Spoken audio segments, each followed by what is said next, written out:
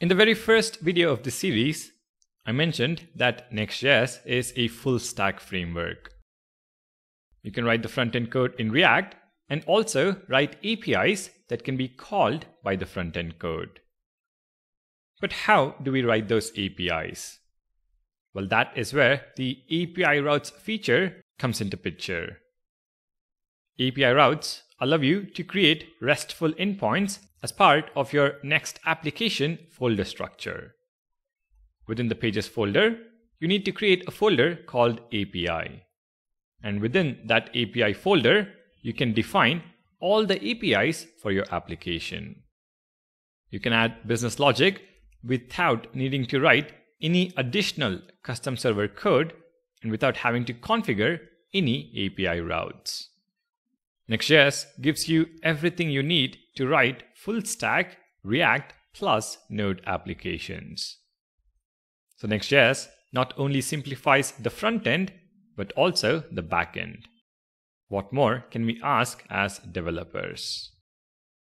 Alright, let's now head back to VS Code and learn how to create a few APIs using the API routes feature. For this section of the series, I have created another project called Next-API. The same can be found on my GitHub repo. Now we want to start from scratch, so I'm going to delete a few things. In the pages folder, let's delete the API folder. Let's also delete the index.js file.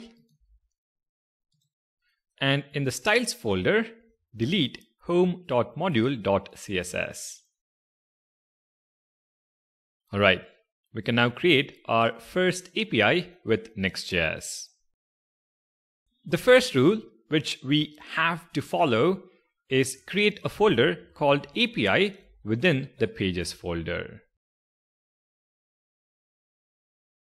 The folder name has to be API and it has to be within the pages folder.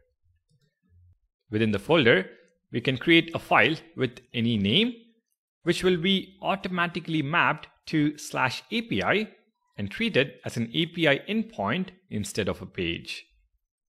Let's look at an example. I'm going to create a new file called index.js. For this API route to work, we need to export a function as default. And the convention is to call that function as handler since it handles the incoming request. So export default function handler. This function automatically receives two parameters, req and res, short for request and response. Both these are standard Node.js objects, which we also had a look at when dealing with the context parameter in get server side props function. You can read more about them in the documentation. For our simple API, we're going to respond with some JSON data. So within the function body, res.status of 200.json, we pass in an object which has a name property set to home API route. Here, .status is a function to set the status code, and dot .json is a function that sends a JSON response. And that is pretty much our API route. We can now start our app with yarn dev. And in the browser, navigate to localhost 3000 slash API. We should get back the JSON response home API route. Our first API with Next.js is working as expected. This is pretty much the gist of API routes. Create files within the pages slash API folder and they are automatically mapped to API endpoints. And the mapping is similar to routing with pages that we had a look at in the first section. But let me create a few more API routes to help you recollect. Within the API folder, if we create a new file called dashboard.js and copy paste the handler function, with name set to dashboard API route. In the browser, we can navigate to slash API slash dashboard and we get the expected response. We can also create nested folders. So in the API folder, create a new folder called blog. If you now create index.js within the blog folder with a similar handler, blog API route, we can access this API by navigating to slash API slash blog. And if we were to create another file within the blog folder, let's say recent.js,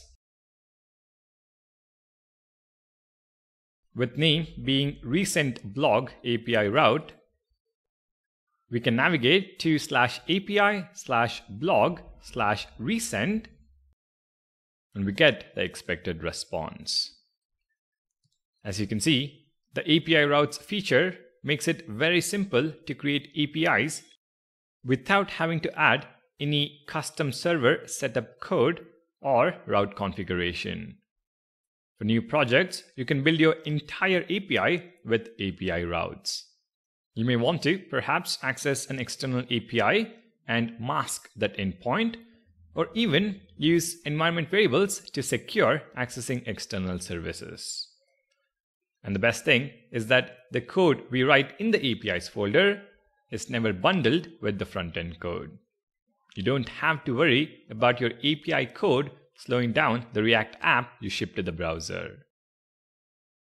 So to summarize, in Next.js, you're allowed to create APIs within the same project folder. The convention we have to follow is to create an API folder within the pages folder and define the files which automatically get mapped to a URL. Each API file must default export a function that handles the incoming request and sends an appropriate response. The handler receives the request and response as parameters to help us serve the data we want to send to the client. I hope you now have an idea of how API routes work in Next.js. Over the next couple of videos, I want to show simple examples of how to make get, post, and delete requests with our API routes. Thank you all for watching. Make sure to subscribe to the channel, and I'll see you in the next video.